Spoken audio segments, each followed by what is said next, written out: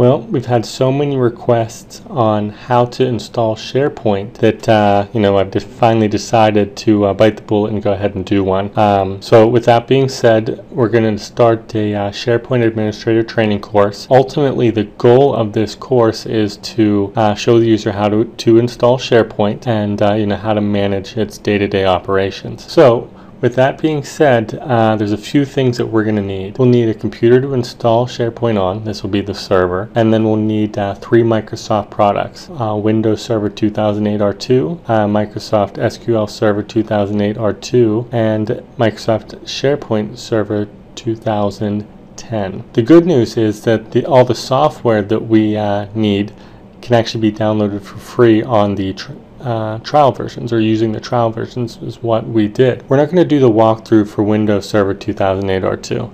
Uh, basically, you're just going to need to burn that software to an ISO and then um, really just follow the prompts.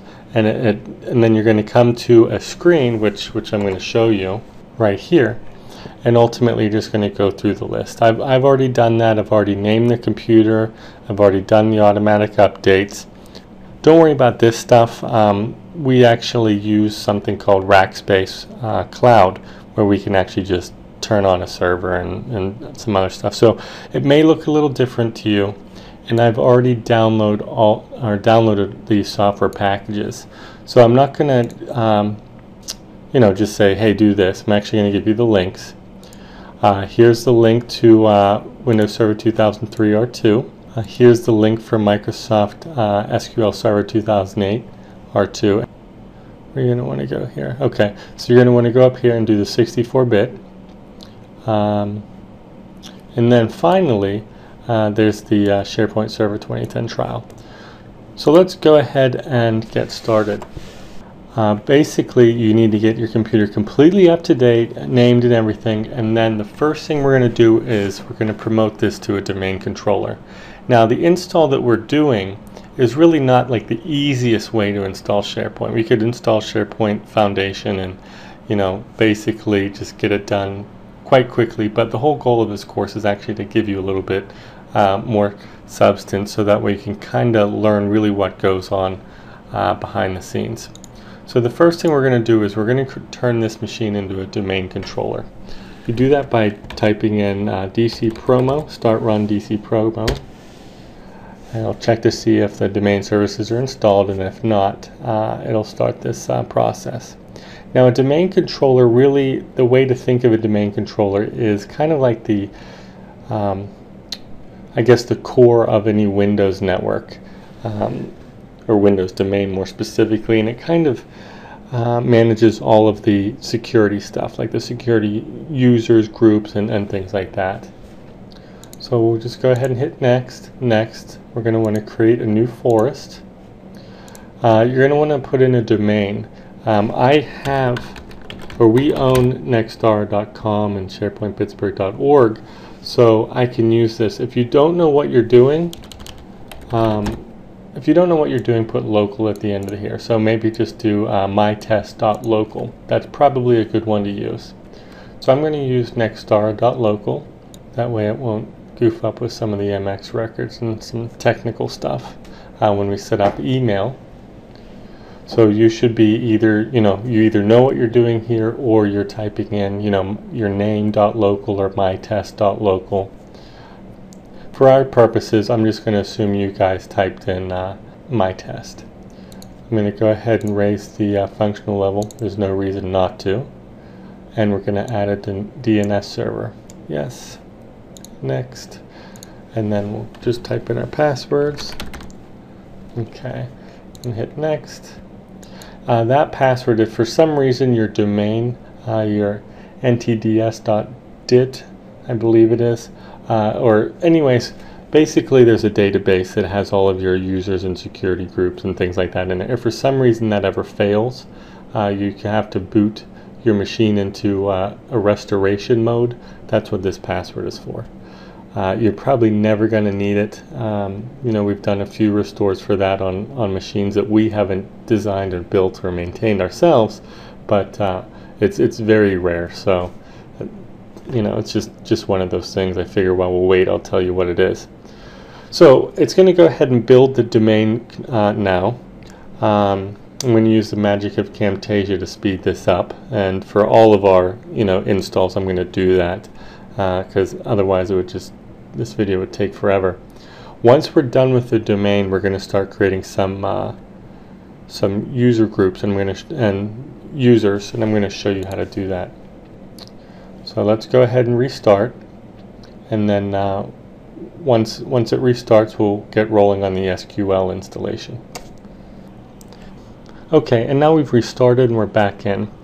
And now we have this thing called a domain. So let's go ahead and figure out what this is all about. We'll go to uh, search or whatever, type in MMC, which is a Microsoft Management Console. This is how you manage servers. We'll go to File, Add Remove Snap-in, double click on Active Directory Users and Computers, hit OK. And this is really uh, this is a domain controller and you'll see here that uh, we have all these different, there's the administrator user which is our only user and we have all these different uh, security groups. Probably have one computer here, SP2010 which is the domain controller and on a regular Windows network we'd probably see a bunch of computers, maybe some other groups and things like that. So now we see that we have one user, um, just the administrator, which makes sense, and we have all these other security groups. Uh, that's what that's what these are, and you can actually see when you scroll out here, um, security groups, a type type of uh, security group. Um, I'm going to go ahead and create a new user, so I'm just going to copy. Uh, let's see here, Leo. We'll put uh, leo at nextstar.com. hit next, I'll put in my password, okay, and I'm not going to have my password ever expire, so I'll hit finish. So now here's, here's me. So now, uh, let's see here, what do we want to do?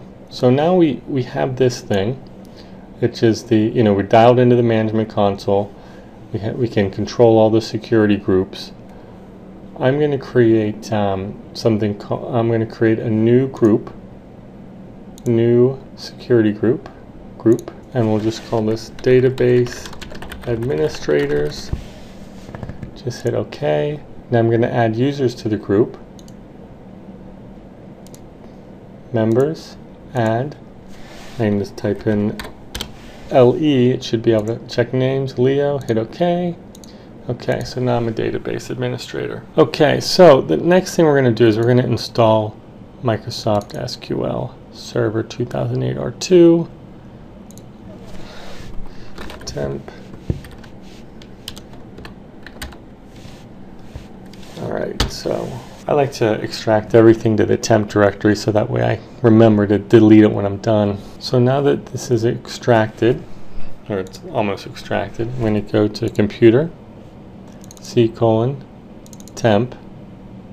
And we almost done? Almost. Okay, now we're done. Go in here and click the setup. Then we should see a window pop up any second here. We're going to go ahead and click on installation. New installation. It'll run the uh, prerequisites. You know, everything passed, so I'm not going to worry about uh, looking at the details. So now we're just going to go ahead and use the evaluation version. We'll hit next. I accept. If you can send feature data if you would like to. Hit next. We'll install the uh, support files and then we'll go ahead with the, uh, the primary installation. Okay, and then you'll see um, some warnings and stuff like that. I'm not worried about those. I'm going to hit next. I know what all that stuff is. Hit next, click on full text search and management tools complete. Hit next. Next. Next is pretty easy. Next. Okay. So here we're going to specify some uh, user accounts.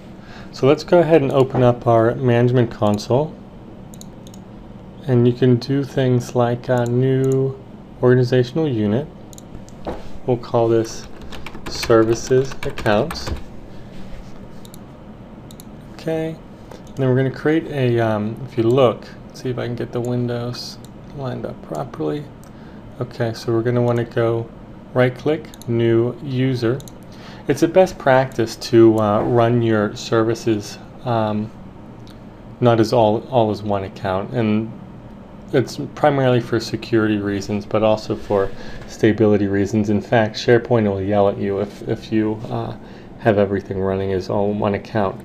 So let's go ahead and name this account. We'll call this SQL Server Agent, and then SQL uh, Agent. Hit next, put in a password. Okay, so there's one. Then we'll go ahead and create a new account, new user. We'll call this SQL Server Database Engine, SQL Engine. And you can name them whatever you want. That's just a standard uh, naming convention that I've come up with. Let's see if I actually got the passwords the same. I did. Okay. So here what we're going to do is we're going to go ahead and then add these accounts. So this one was the agent. And okay. Then we'll put in the password. Okay. And then the next one. This will be uh, engine. And if you don't actually uh, have a completely unique uh, name, it'll it'll list the ones that uh, it matches. That's why you saw two come up there. Then we'll go ahead and put in this password. Okay, there we go. Now, uh, who do we want to be able to administer this database? Uh, we'll add the current user, the administrator, that, that's us, and then we'll add that database administrator groups. Because eventually we're going to be uh, logging in as ourselves. And, um, you know, basically, in, in real world environment, you don't have your SharePoint admin managing the uh, you know domain, managing the databases, managing the web servers. Ultimately, you're going to have um, you know experts managing each individual piece, uh, but you know for us, we get to manage the whole thing, and that's really a best practice. Um, but in our case, we get to manage everything and play with it all. So we're going to go ahead and hit install here. It'll take some uh, time to complete and then whenever we're done it'll ask us to reboot and then we'll um, go ahead and install SharePoint. Okay, and we're done. So I'll just go ahead and hit close. DX close out of this. Nope. Close. I will check for updates. It's always good to make sure you're fully updated before you do any installs. Install that. We'll go ahead and restart now and then uh, we'll start installing SharePoint.